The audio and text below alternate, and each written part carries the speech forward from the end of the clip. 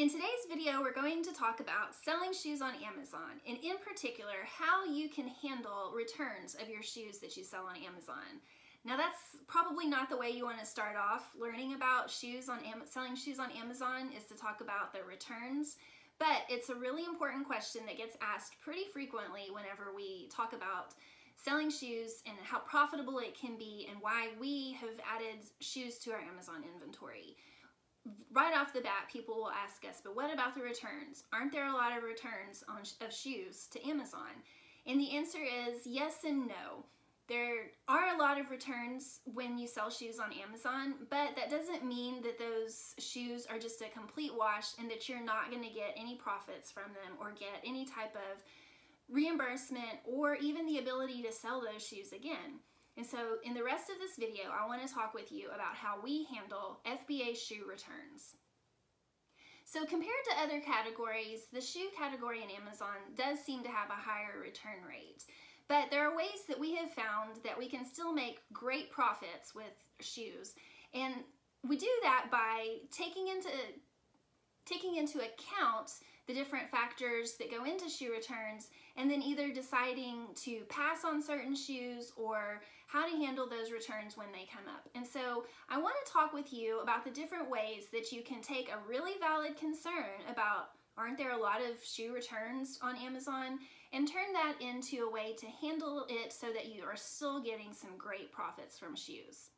So the first way that you can kind of mitigate your risk and deal with that concern is to pay attention to your ROI and the dollar amount of your profit when you're sourcing.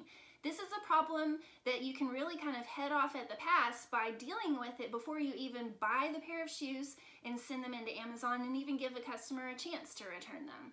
So when you're sourcing, pay really close attention to your ROI and the dollar amount.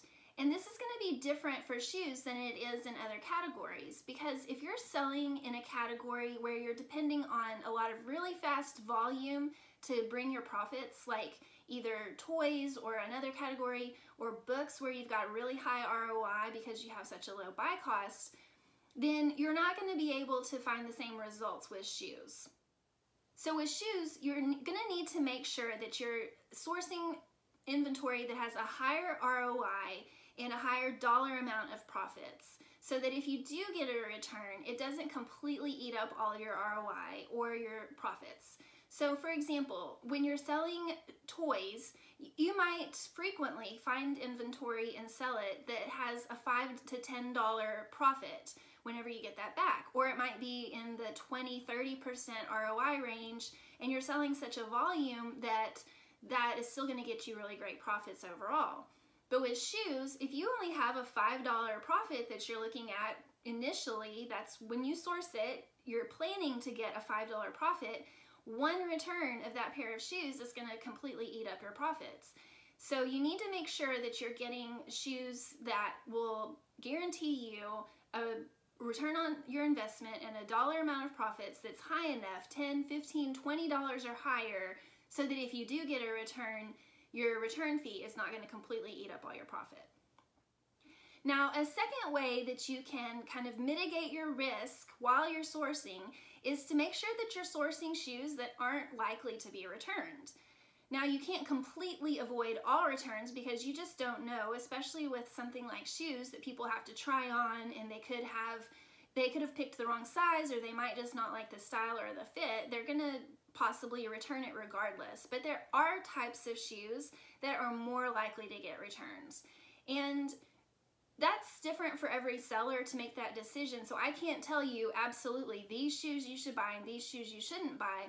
But there are types of shoes that over time you might find, well, those are getting a lot of returns.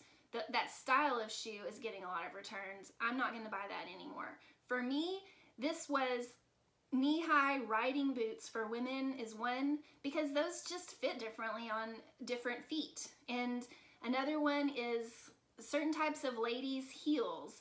Those just are really hard to get a great fit without trying them on, and so those might be returned frequently. And so I just tend to shy away from buying those types of shoes because I know that people are buying them with the intention of, oh, I can just return it if it doesn't fit the way I want. And that does happen frequently. So I just source other types of shoes. And another way that you can avoid shoes that are more likely to be returned is by looking at the Amazon product page carefully when you're making your sourcing decision. The things that you need to look at are the reviews. Scroll through the top reviews and see if people are saying, this didn't fit, I had to send it back. It says it's a size 8, but it fits more like a size 8 and a 5, 8 and a half. I sent it back. If you see a lot of those types of reviews, that you might want to stay away. Or if there's enough reviews and Amazon can compile the data, there's a place on the, the top of the product page for your shoes that's going to give you a percentage of fits as expected or too small, fits too large. And you can see the percentage of people who said that it was somewhat large or very large or fits as expected.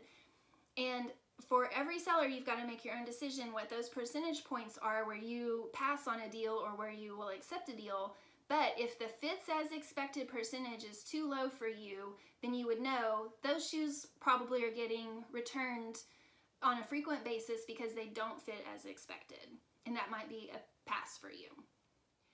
So another way that you can deal with the potential of high shoe return rates if you're going to add shoes to your Amazon inventory is to have a system in place for how to deal with them. And that takes out the emotional component of shoe returns. I know especially for newer sellers who haven't been in the business as long, it's really kind of frustrating to get a, a return and we at times can even take it personally like I don't understand. This is a great pair of shoes or this was a great item. Why did they do this? Now I have to deal with it. I'd rather be doing something else. I would rather be making more money. And we make it more emotional than it needs to be. And so putting in place a system for dealing with your returns is a great way to set yourself up for success overall in your business so that it's just a part of your plan that, okay, I got a return. Here's my checklist for things to look at and how to deal with this. Now I'm going to deal with it. And you can go from there and trying to figure out do I need can I get a reimbursement for this pair of shoes? Is this something that in Amazon's terms of services, this shouldn't have been returned and so now I can get a reimbursement? Or is this something that I just need to just take it in stride? It's part of the business. Regardless, you need to look at, okay, now I've got this pair of shoes back. What am I going to do with it? And so you need to have a system in place as well for selling those shoes on other platforms. And we have sold shoes on eBay. We highly recommend keeping an account in good standing on eBay so that you can sell any returns of shoes or other inventory and on eBay as you're dealing with that with Amazon. We also highly recommend for shoes in particular, selling those returns or any damaged items on Poshmark. We've had a lot more success actually selling shoes and some clothing items, but shoes in particular on Poshmark. And you can find out more information about getting signed up to start your selling account on Poshmark at fulltimefba.com slash Poshmark. And we found that the crowd that buys shoes on Poshmark, that buys clothes on Poshmark, really has been a great place for us to present our items in an attractive way. They're really in the market for shoes more than we have found people on eBay to be. And it's been, in particular, a great way for us to be able to give a lot of pictures, really specific description about these are new shoes, but the box is damaged. These are shoes that were worn once and the tags are still on them, but they're scuffed up, so they're not technically new, but they're pretty much new. You can do that on Poshmark where you can't do that on Amazon. And so it's been a really great way for us not to get the same amount of profits as we would on Amazon, but at the very least to um, get some of our capital back that we spent on investing in those shoes in the first place and to just move inventory out of our storage space. But one of my favorite things about Poshmark is that sales are final. So unlike with eBay or Amazon where you always have to wonder, am I gonna get these back?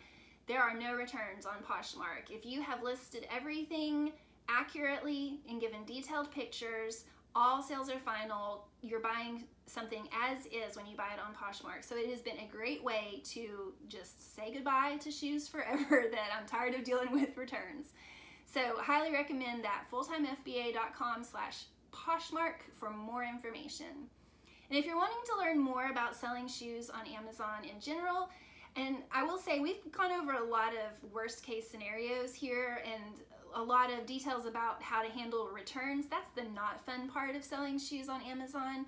But there are a lot of really great reasons to consider selling shoes. And so we recommend a course that we have put together for you. It's an ebook and video course that goes from start to success of how to sell shoes on Amazon and get some great profits and increase your Amazon disbursements. You can find out more about the Reseller's Guide to Selling Shoes at fulltimefba.com slash selling shoes. Well, that's all we have for you today. Thanks so much for joining us. We would appreciate it if you would like this video, subscribe to our YouTube channel, and as always, we highly recommend that you subscribe to our blog at fulltimefba.com.